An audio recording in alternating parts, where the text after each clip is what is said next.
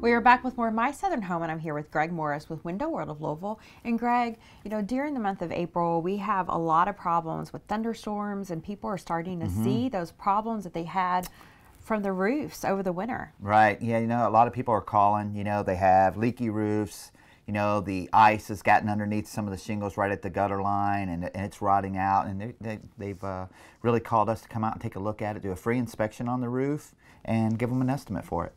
So Krista was telling us that her roof was over 20 years old. What mm -hmm. are mm-hmm. some of the problems that you can run into when you have a roof that old? Well, you know, when they do the initial tear off of the shingles, the old shingles, there could be rotten wood, certain areas that are leaking. I mean, that's when you really do the hardcore inspection. And uh, fortunately, we caught some areas that needed to be replaced. We came in, did some new wood, uh, some new wood planking on one side of the house, and then uh, we covered it up, and it's a happy camper. And that can save her a lot of money down the road because water damage, as we all know, could be a very expensive problem. Mm-hmm. And I think she was very fortunate too that she didn't have some water problems already. Uh, but uh, the way the shingles were put on, it lasted through the times of the uh, the bad wood and everything. But you're talking about leaks that you don't know that are happening for a long time, and all of a sudden they could appear, and they've been leaking two or three years, and it could cost you a lot of money.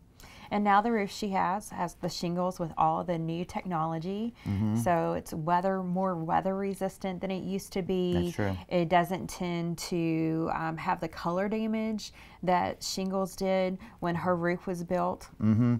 And right now she went with a dimensional roof, which has a little more life to it, and the color blends are great. Um, there's a lifetime warranty on the uh, shingles and the labor, which is great, and it's transferable if she ever decides to sell the home.